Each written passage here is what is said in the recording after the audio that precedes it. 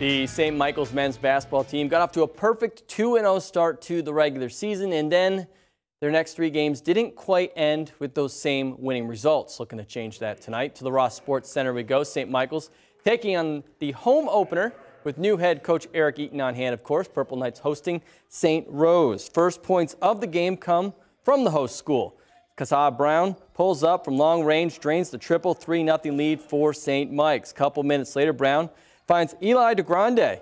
Essex High School product laying it in for the two Purple Knights with a two-point lead. Later on, St. Mike's trying to tack on, but the pass is intercepted. Golden Knights bring it back the other way. They get the lay-in, part of a 7-0 run. Purple Knights now trail by a half a dozen.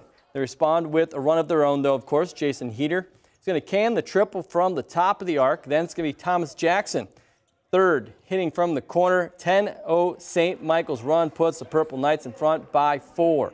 Later on, DiGrande will take the pass, and this is what you might want to see. He's going to drive down the lane. He takes flight, puts a Golden Knight on a poster. Part of a team high, 13 points for him. But the gold was just a little better than the purple in the end of this one. Close one to the finish. St. Rose clips St. Mike's by a final of 68 to 66.